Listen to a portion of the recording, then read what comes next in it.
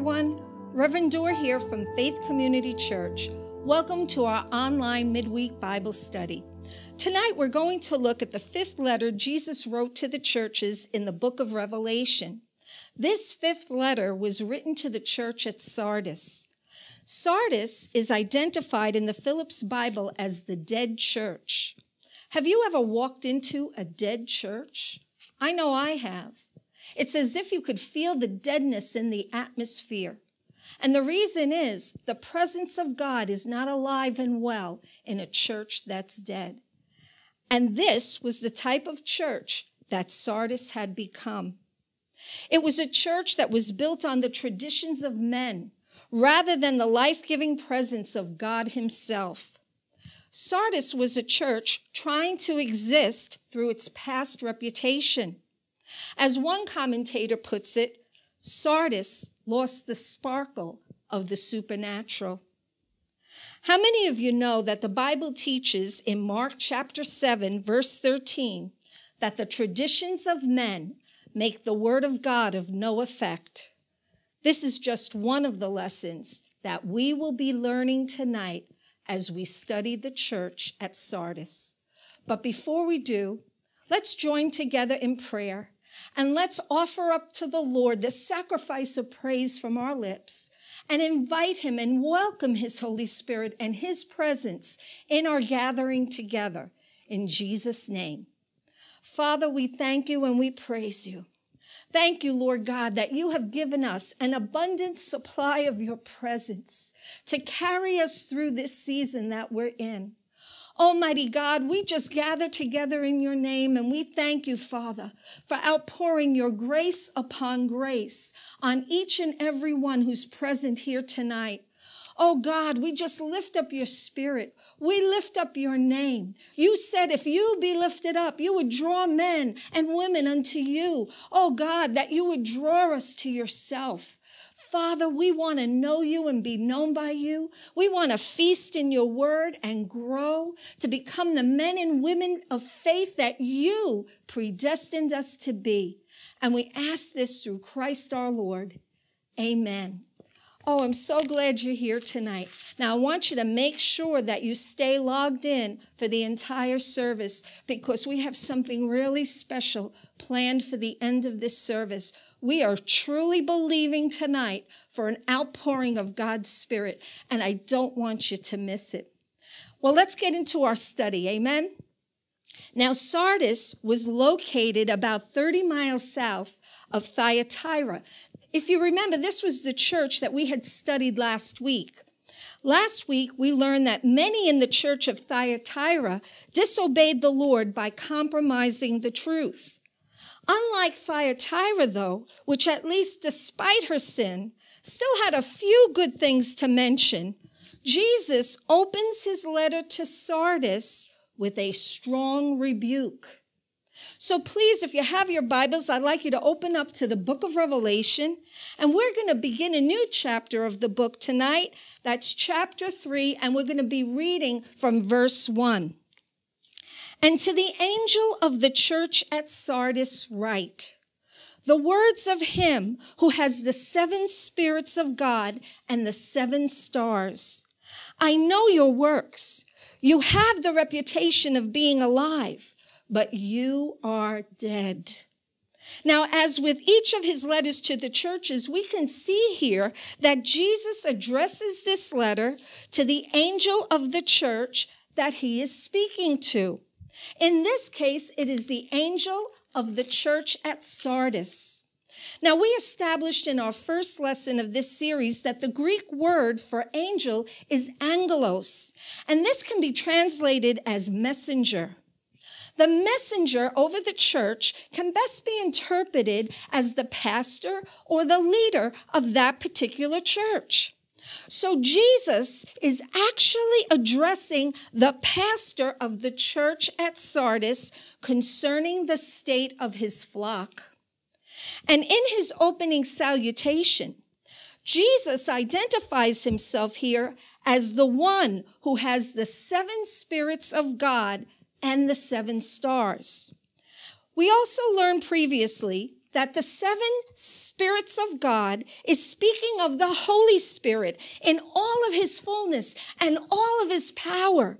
And the seven stars are referring to the seven messengers or pastors over each church. We learn that the seven stars are in his right hand. So Jesus is telling us something very important here. He's saying he has full authority over his churches, how his churches are to be run. He is the CEO over every church on the earth. And he goes on to say, I know your works, Sardis. You have a reputation of being alive, but you are dead. You see, Jesus is calling out to this church from the get go their spiritual condition. You know, they were engaged in their works, but they were out of fellowship with God. In other words, they were engaged in their ministry to man, but they were not engaged in their ministry to the Lord. And this is a very dangerous place for a church to be. You see, there was a day when Sardis was actually alive. The city of Sardis was very prominent in its beginning. It was a great city of great, great wealth. Gold ran through its streets and rivers. Well, not through its streets. Gold ran through its rivers. Sardis was known for manufacturing pure gold and silver coins. And there was a time when Sardis considered itself untouchable. And this was due to the fact that Sardis had been located high on a hill, and so it was difficult to get to. But eventually, the keepers of the city grew arrogant. They became less and less watchful over the city's gates. You see, the city of Sardis had been attacked and was conquered actually twice. And as a result, this city was overrun and came to ruins. Now, you know there's a grave danger when you pride yourself in your past victories and you fail to be watchful. And this is what happened to Sardis, both its city and its church. Proverbs 16, 18 says, Pride comes before destruction and an arrogant spirit before a fall. Church, there's a danger to pride yourself in your past victories. You see, it's not enough to simply be content looking back at the good old days. As a true follower of Jesus Christ, we must ever be bearing fruit for his glory. Amen. Church, don't ever, ever become complacent in your walk with the Lord by dreaming of days gone by. Don't buy into the lie that somehow, because you served back when, that you've already paid your dues. Nothing could be further from the truth because the Bible is clear. Now, now is the time to serve the Lord. Amen. Jesus, I want you to remember when we first read this passage, introduced himself to this church as the one who has the fullness of the Spirit, who holds the pastors in his right hand. Now, this is really interesting because as we've been studying these churches, we find a pattern. You see, in each of these letters to the churches, Jesus' introduction of himself speaks directly to their spiritual condition. Last week, when we studied the church of Thyatira, he introduced himself as the one whose eyes were like a flame of fire and whose feet were like burnished bronze. You know, with those eyes, he's saying to us, I can see right through you. I can see through your motives and I can see your intentions. His feet, like burnished bronze, was a warning for Thyatira to repent of his judgment because his, re- to repent rather because his judgment would eventually fall upon them if they didn't repent. introducing himself to Sardis as the one who has the Holy Spirit in all of its fullness. Jesus is addressing exactly what they are lacking. Sardis had lost the sparkle of the supernatural. It was a church of ritual and no power. The very life of the Holy Spirit was no longer present. And instead, this church got caught up in just practicing man made routines. Jesus finds this church lifeless, powerless, and ineffective. And by his introduction of himself as the one who has the seven spirits, Jesus is actually telling Sardis that they need the power of the Holy Ghost. You see, they were grieving and they were quenching the power of the Holy Spirit in their ministry. And this is what made them lifeless. What does it mean to quench or grieve the Holy Spirit? Well, first, we must understand, according to scripture, that the Holy Spirit has a will. He has a personality and he can be grieved or offended. Church, the Holy Spirit is not an it or a thing. He is a person. He is the third person of the Trinity. And the Bible is clear on what actually grieves him. So I want you for a moment, hold your place in Revelation 3, and let's turn to the book of Ephesians, and we're going to read from chapter 4. Ephesians chapter 4, beginning at verse 29, gives us a very good understanding as to what grieves or offends the Holy Spirit. Now, I want you to really listen up.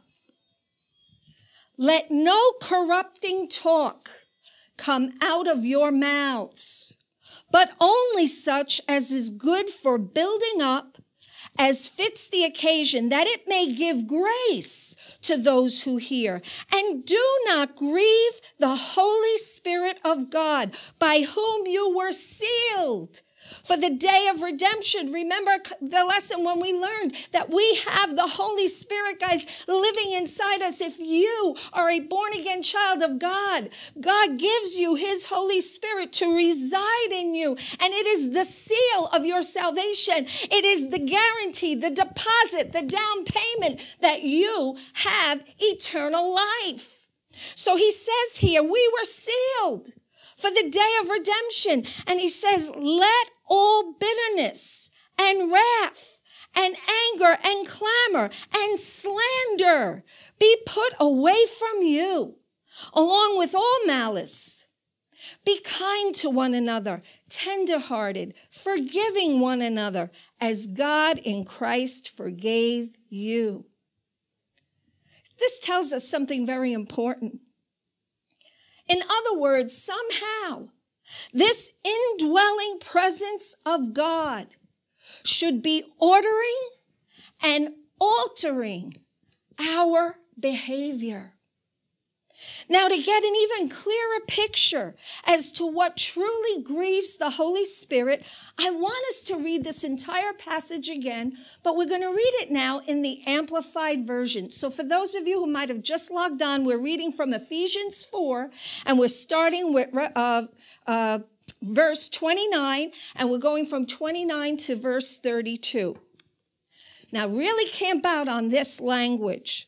Let no foul or polluting language or evil word, nor unwholesome or worthless talk ever come out of your mouth.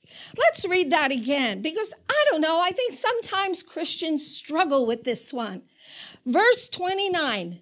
Listen. Let no foul, no curse, no profanity, no choice word, no polluting language, nor evil word, nor unwholesome or worthless talk. Hey, that's a wake up call to anybody who's given to gossip. Don't ever let it come out of your mouth, but only such speech as is good and beneficial to the spiritual progress of others, as is fitting to the need and the occasion, that it may be a blessing and give grace, which is God's favor, to the one who hears it. And do not grieve.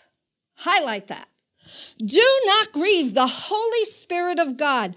In other words, it says, do not offend or vex or sadden him, by whom you were sealed, marked, branded as God's own, secured for the day of redemption, of final deliverance through Christ from evil and the consequences of sin.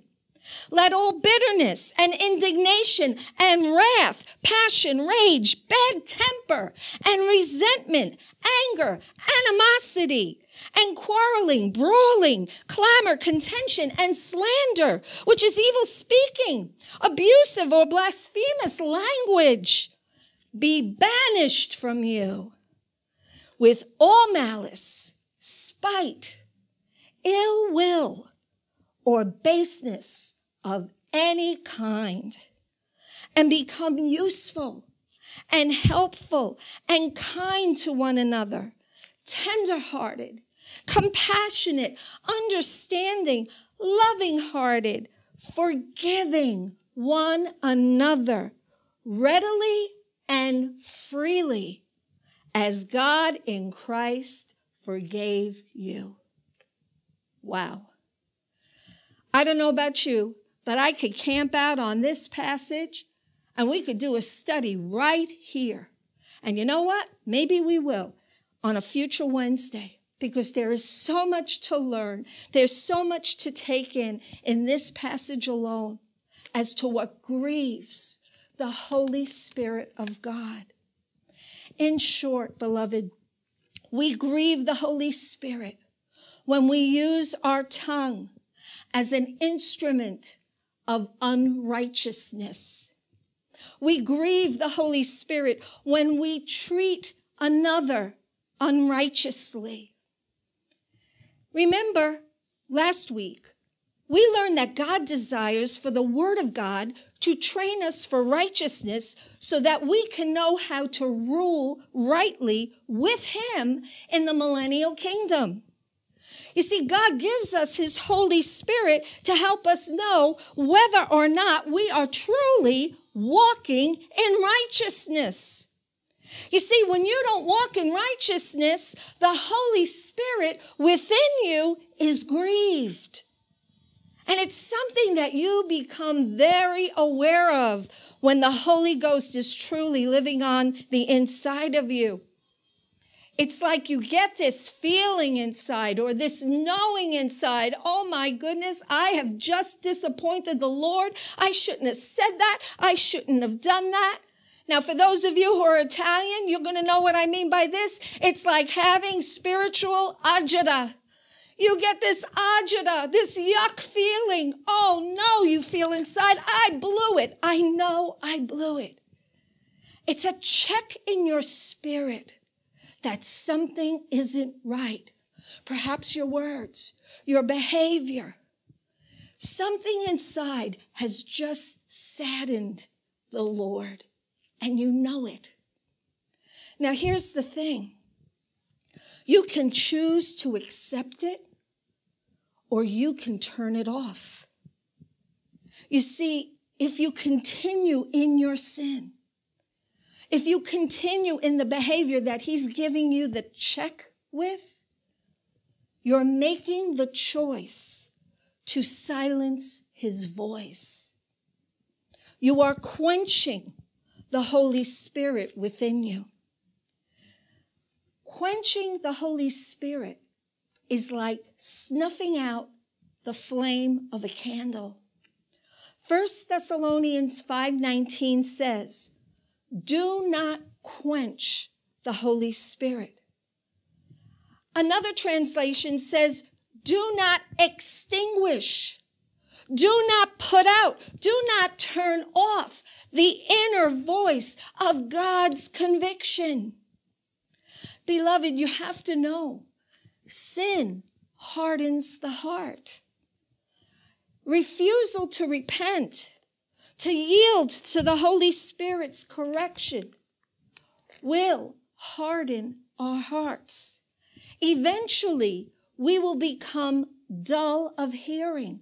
We will become desensitized to what the Spirit of God is saying. 2 Timothy chapter 1, verse 6 and 7 says this, For this reason, I remind you to fan into the flame of the gift of God, which is in you through the laying on of hands. For God gave us a spirit, not of fear, but of power and love and self-control. Sadly, church, this was the condition of Sardis. This was their sin, that they quenched the power of the Holy Spirit by letting the flame die out. Sardis is a church that is in great need of revival. Though at one time, Sardis had a reputation, Jesus now finds this church without power, desensitized to the voice of the Holy Spirit. So much so that Jesus says to them, You are dead. You know, they were actively engaged in their works, but they were bearing no fruit. And the Gospel of John, chapter 15, verse 5 warns us apart from him, we can do nothing. Church, we must always be careful that our ministry to man never supersedes our ministry to God. Ministry to God must always come first in the life of a church and in the life of every individual member of that church. You see, the church at, at Sardis was made up of carnal Christians those who lacked the power of the Holy Spirit. Romans 8 6 tells us to be carnally minded is death. You see, a church that's filled with carnally minded people without the power of the Holy Spirit is a church that is DOA. It is dead on arrival. Oh, honey, you may sing the song, you may do the dance, and you may ring the bell. But unless the Holy Spirit is breathing on what you do, you will not bear any, any, any fruit. Jesus, in this hour, is going around looking for churches that will bear fruit. Churches who are preaching the gospel with signs and with wonders, signs like healing and salvation and deliverance. In his introduction to himself to this church, I'm sorry, in his introduction of himself to this church, we notice Jesus mentions the seven stars in his hand, which are the seven pastors of the church. And in verse 2, Jesus commands this is this church's leadership to wake up and pay attention. Now I want you to turn back to Revelation and we're going to take a look at Revelation chapter 3 and we're going to begin with this verse in verse 2. It says here, wake up. He's talking to the pastor. He's talking to the leaders. He's saying, hey guys, wake up and strengthen what remains that is about to die. For I have not found your works complete in the sight of my God. Remember then what you received and heard. Keep it and repent.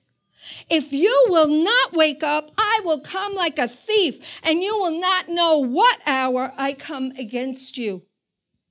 Here, Jesus gives this church a five step plan to come back to life. And guys, it's the same five step plan for any church that is feeling dead. First, he commands, wake up. You see, the sin of pride had lulled them to sleep. They had lost their way because they became arrogant. They were no longer watchful.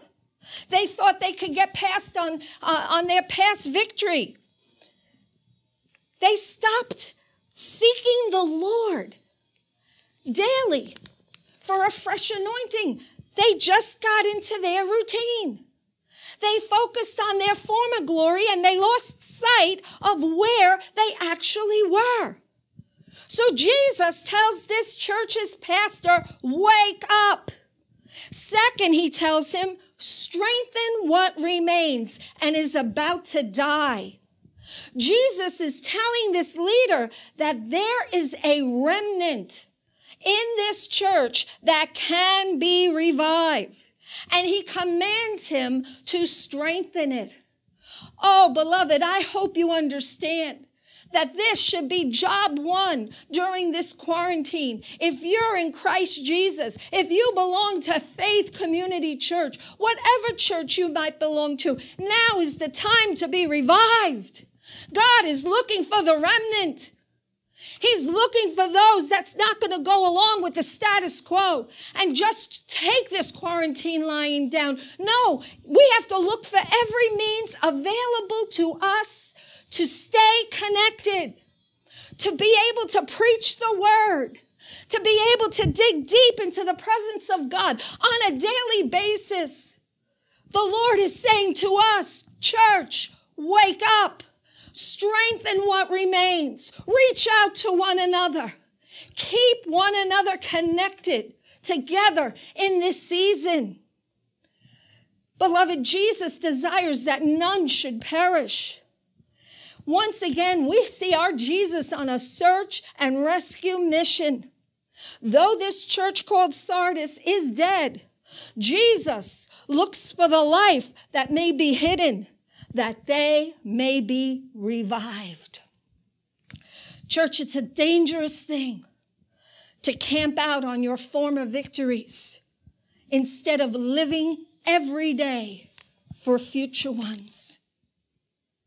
You know, years ago, I heard a minister say, here's the great thing about ministry. You can learn how to do it. And then he said something really interesting. He said, Now, here's the bad thing about ministry you can learn how to do it. Beloved, a church is in danger. Its members are in danger when they stop relying on the power of the Holy Spirit to do the work of ministry through them. You see, we need to rely on the power of the Holy Spirit within us each and every day. The church in Sardis fell asleep to this truth. Pride and arrogance clouded their vision. A church that only has a past and doesn't live for today is in danger of not having a future. Beloved, a church is a living organism. It needs a daily dose of the Holy Ghost so it can thrive and stay alive. Sardis had become so enamored by their own reputation that it stopped living for the blessed hope that was promised to those who endured to the end. It wasn't thinking about living ready and finishing strong. It thought it had already arrived. It had a reputation. And it was basing its existence on its past. Third, Jesus tells him to remember what you have received and heard. He's reminding this church to let the word of Christ dwell in their hearts again, to go back to the basics. Fourth, he tells them not only to remember, but keep this word. In other words, guys, he's saying, obey the truth that you first heard. Obey the truth that you first heard. You know, we, we're, we're so, uh, what's the word? higher than a kite, when we first get saved, when we first hear the gospel, we're so overwhelmed when we receive the goodness and the mercy of God and, and it carries us. It's like, you know, you begin this wonderful honeymoon with the Lord and you, you're just enamored with his grace and enamored with his mercy that he could forgive you and wash away your sin. Church, never forget the goodness and the mercy of God. Never forget especially when you find yourself in that trial and every fiery dart of the wicked is aimed at you. How do you navigate through such a season? How do you navigate through such a minefield? You navigate by standing on what you know. You know, like you know, Jesus Christ is Lord to the glory of God the Father. He is the same yesterday, today, and forever. He will never fail you. Never. This is our God. He will carry you through that season and he will take you safely to the other side. But you have to hold on to that truth and you have to obey what he reveals to you. Fifth, Jesus warns them to repent of their lifelessness. He warns them to repent of their lifelessness so that he can revive them and restore them back to life. Church, revival begins in the heart.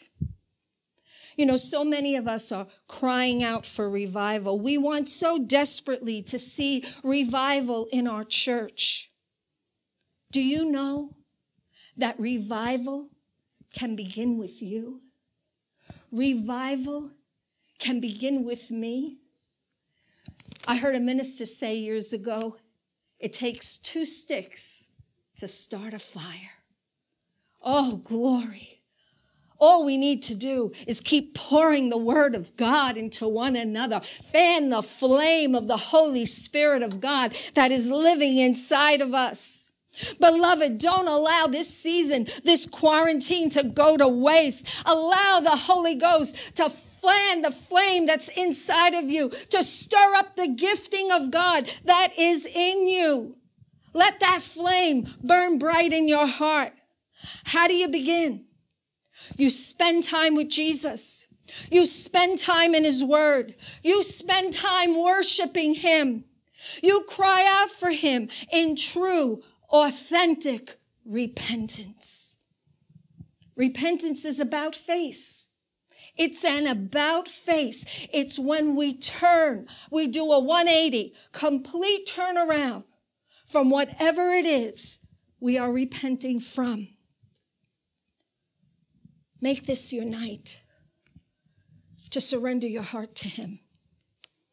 Make this your night. Mark it on a calendar. This is the night you surrendered all to Him. This is the night you let go of the past and you take hold of today. So you have the promise of tomorrow, the promise that's only found in Him. You have a future and a hope in Christ and Christ alone. Take a look at verse 4. Yet you have still a few names in Sardis, people who have not soiled their garments, and they will walk with me in white, for they are worthy.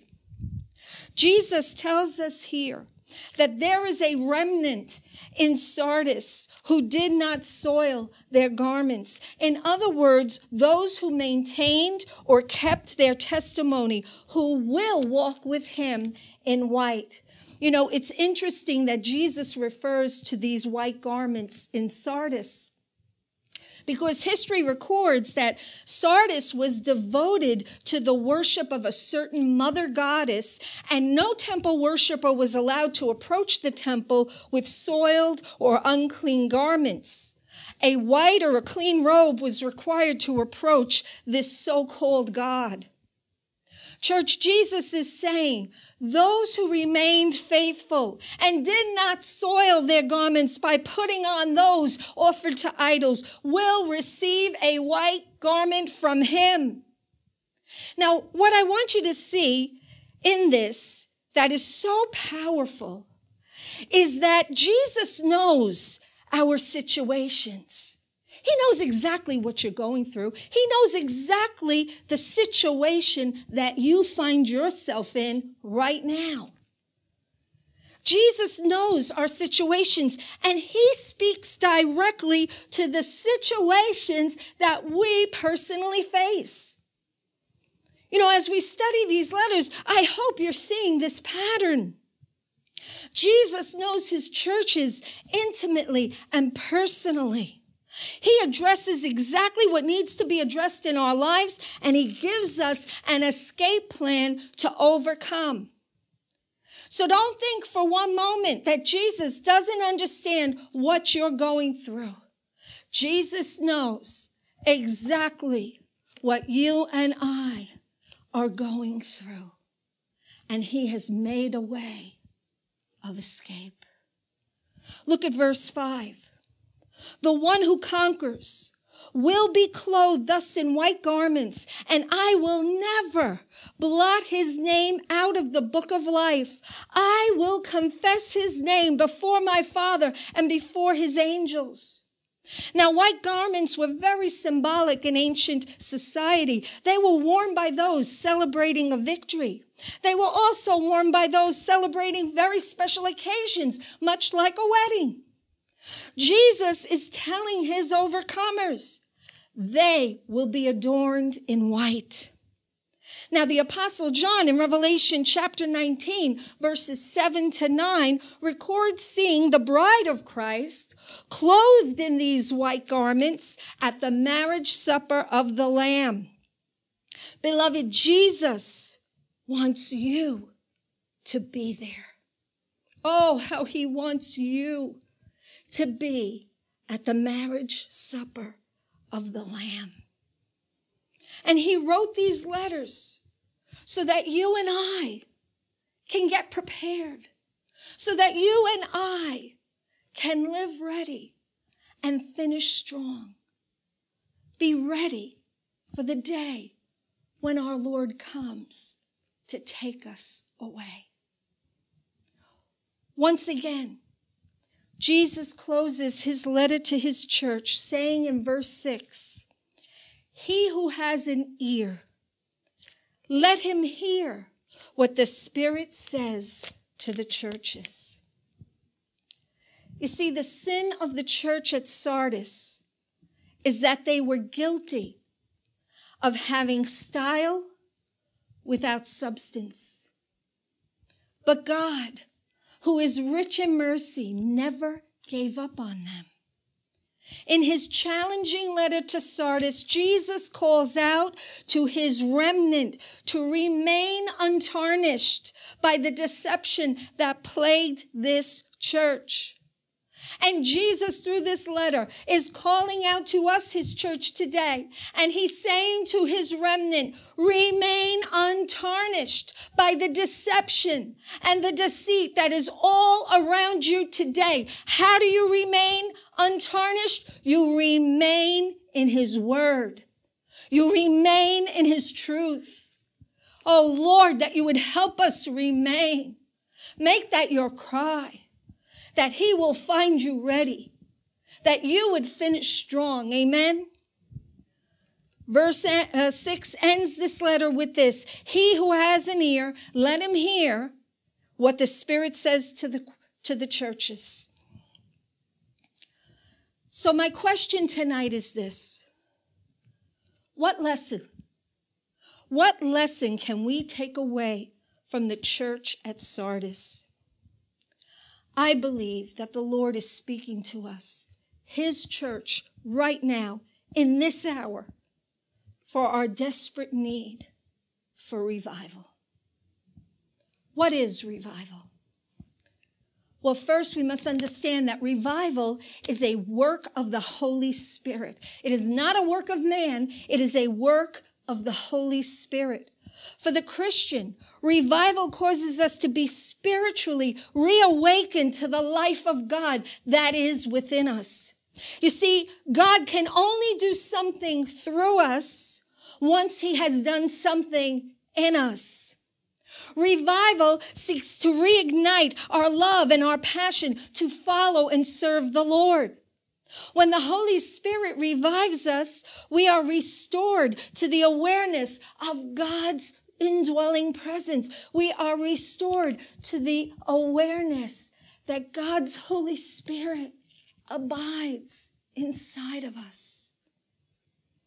Remember, like the church of Sardis, we are in great need to be continually filled with the Holy Spirit for life and ministry. Church, we are in an hour where we need the power of the Holy Spirit like never before. Here's the reality.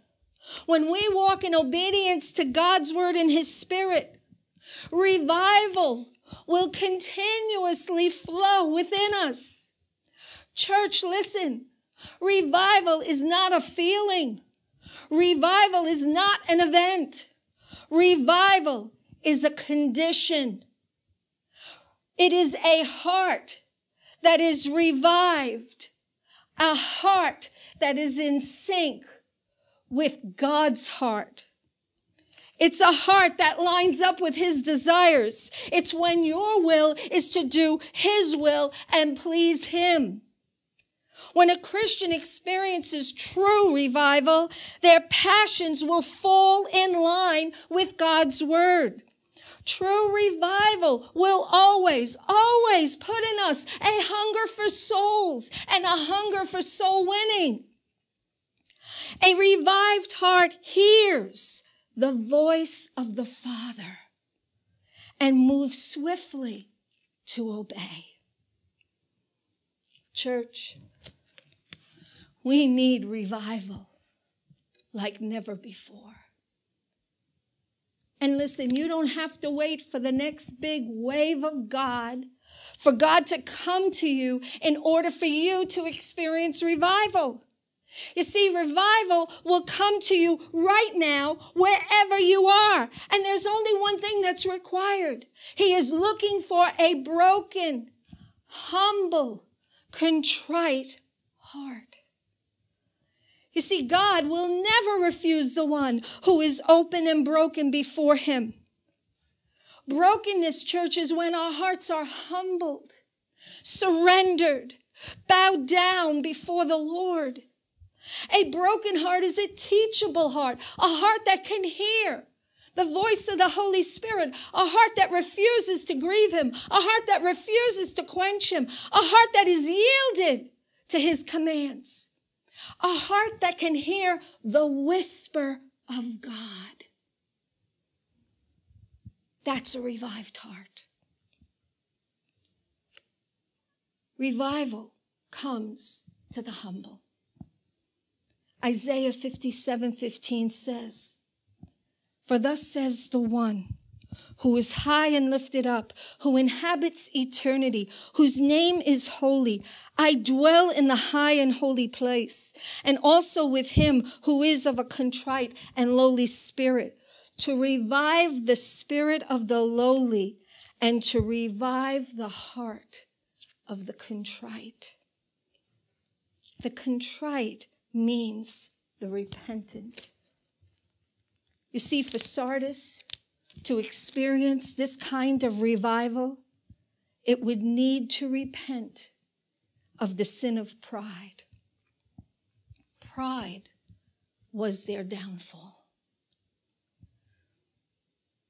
Beloved, spiritually speaking, we are either dead or alive. What is the spiritual condition of your heart tonight? Are you thriving in your walk with the Lord? Are you thriving in your obedience and service to Him? Or are you barely on life support? For the one yet to believe, this death This spiritual death is to be without spiritual life. It is to be without God Himself. It is to be separated from a relationship with Him. Beloved, this is why Jesus came. He came to bridge the gap. He is the only mediator between God and man. He came to bridge the gap, to make a way for you and I to have access to God's holiness, to have access to God the Father himself, to have access to God's righteousness. God's glory comes and weighs heavy upon us to help us see, to help us see our need for Him. Oh, I hope you're hungry for God's glory. I hope every day you're crying out, God, send us your glory. Help us know you and be known by you. May your glory fall heavy upon us, that we may see the truth Oh Lord, I pray right now for those who are yet to believe that you, Father God, will give them the gift of repentance and that you will help them see the deadness that they have been living in and that you are offering them life. You are offering living water to the one who's so thirsty tonight. Oh, beloved, if that's you, surrender your heart to Him right now. You know, I'm just going to take a break for a moment to do this because I feel this so strong right now. God wants you to come to Him. And so He comes to you. We love because He first loved us. It's the Father who draws you to the Son. And if you're feeling that conviction inside, you're feeling that churning, something is happening in the atmosphere. Something's happening in your heart. Don't turn it off. Don't quench the power of the Holy Spirit that's there to remove the veil from your eyes so that you could see him as he truly is. He is the Christ. Jesus, our Lord and Savior. He is a merciful Savior. And he comes to you tonight and he says, I will forgive you. So expose to him what's hidden in your heart. Repent. Cry out to him. Say, Lord, I know I'm a sinner. I need a savior. I can't save myself. I don't have the power. I've tried to fix everything, and every time I try, I fail. Lord, I am in need of eternal life, this gift, this living water that you promised to those who believe. Father, I pray, help my unbelief. Teach me, Lord, your ways. Lord Jesus, your word says that you are the Christ, the chosen one. I come to you now and I surrender my heart to you fully. And I ask you, Lord God, be merciful unto me, a sinner. Cleanse me. I repent. I ask you to remove the reproach of my sin and cleanse me from all unrighteousness. Lord Jesus, come into my heart. Make me what I ought to be. I believe you rose from the dead. I believe you are the one sent by God to deliver us. Lord God, I thank you for coming. I receive it by faith. And I thank you for leading me by your spirit and teaching me your ways that I may walk with you and follow you all the days of my life. Amen. Now, I don't know if you prayed that prayer with me, but that is the type of prayer that you need to pray. That is God's invitation to welcome you into his eternal kingdom. It's by faith that we're saved. We are saved, church, when we believe in the one, when we believe in his grace his grace comes to deliver you, to set you free. Ephesians says we are saved by this grace through our faith. Our faith helps us access who he is. Faith is believing in what you cannot see. Oh, I pray that you're coming to Him. And if you are, notify us, reach out to us. We want to pray with you. We want to encourage you to be all that God desires you to be. Now, for the believer, this death, this spiritual death, is being out of fellowship with God by not walking with him, being out of fellowship due to sin or disobedience, walking in a state of grieving the Holy Spirit. Beloved, examine your heart tonight. Are you quenching the voice of the Spirit within you? First John chapter 1, verse 9 says this, if we confess our sin, he is faithful and just to forgive our sins and to cleanse us from all unrighteousness. Amen. So, all together, in this time, in this hour, in this moment, I want us to turn to the Lord. And we're going to cry out together for the revival fire to come and fan the flame that is in our hearts. We are believing as a church for revival to hit us right now, right where we are, right in our living rooms, right in our bedrooms, right wherever we are. As we are standing before God's presence, we are believing for the outpouring of God's Spirit. And I have something very special prepared tonight as we pray.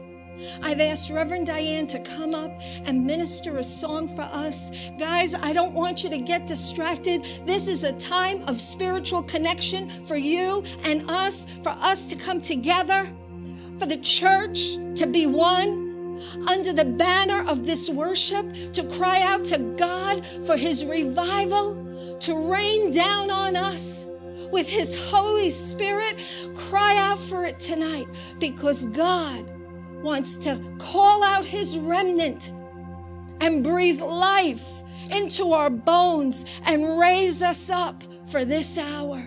Amen. Amen. Let's just bow our heads and lift our hands as we worship together and ask the Holy Spirit to reign Holy Spirit,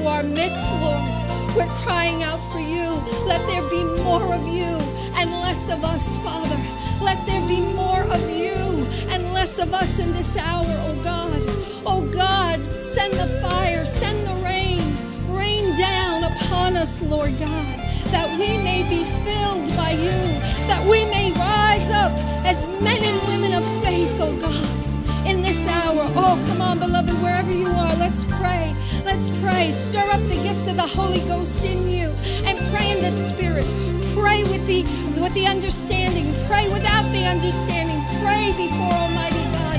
Father, we thank you right now for your Spirit coming upon us. Move, Holy Ghost. Oh, hallelujah, hallelujah.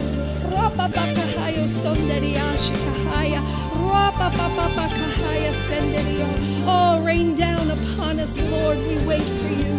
Fill us, oh God. Fill us, oh God. Cleanse our hearts, Lord. Help us see the error of our ways that we may turn, oh God, and be a people consecrated for you, to live with you, to live by you, to live in you. You alone hold the keys to life and godliness. You are the one called faithful and true. Oh, Father, bring a holy hush upon our gathering today. Father, we pray for revival to hit our homes. Let every household be aflame with your love, be aflame with your power, be aflame with your truth, oh God. Set our hearts aflame with passion for you, oh God. Teach us. Make us. Equip us, Father. In this hour, in this moment, we pray. Oh, Father, we thank you and we praise you. We worship you. Holy Spirit, rain down. You are our comforter and our friend. We need your touch again. So we unite in faith all over the airways. We unite right now. Through these social media, we unite right now. We unite in faith.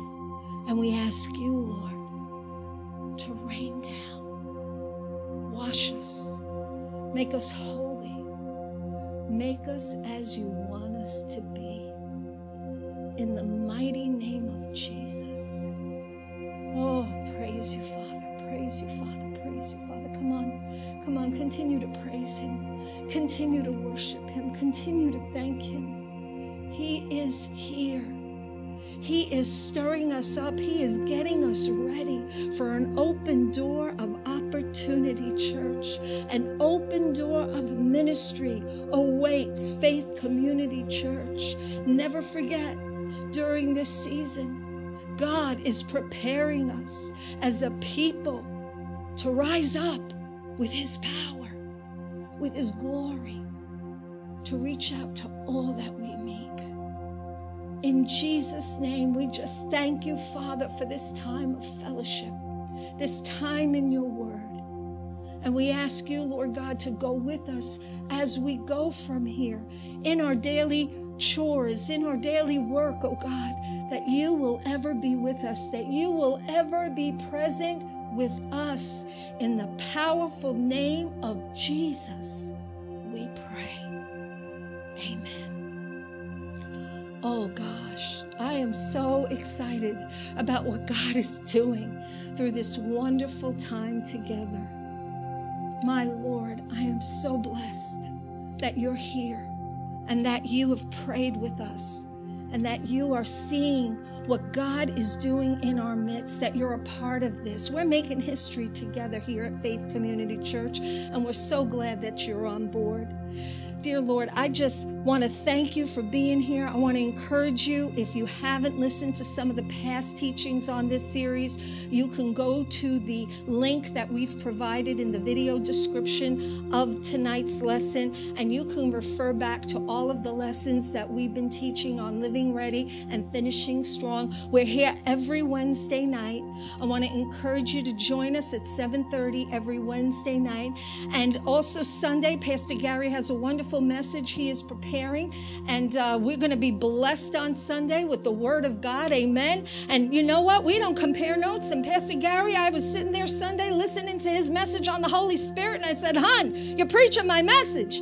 And I was just so excited because I saw we're really in sync with one another with what God's Spirit is saying to our church today. And we're, and even the kids, Reverend Diane told me that kids are learning about the Holy Spirit. So we're so excited that God God is really in our midst, that we are alive with God's power. And we want you to be a part of everything that we offer to you throughout the week. Don't forget to go to Man Up on Monday nights. Don't forget our women's life groups on Thursday nights. And don't forget our identity life group meets every Friday night. And for those of you who've been giving online, we want to thank you so much for your support of this ministry. You guys are such a blessing to us. I want you to feel our heart and our appreciation. You you keep us going. You are the ones that are really keeping us moving forward during this quarantine. And we're so grateful for you, for your faithful support to this church. If you'd like to give tonight, we would encourage you to please go to the address you see across the screen. Just click onto that address, go to our website, and we'll be happy to receive your offering and to bless you. Know that our elders are praying for you, our church family is praying for you. God bless you guys. We're so grateful for you. Thank you so much for being here. And we will see you next week. God bless.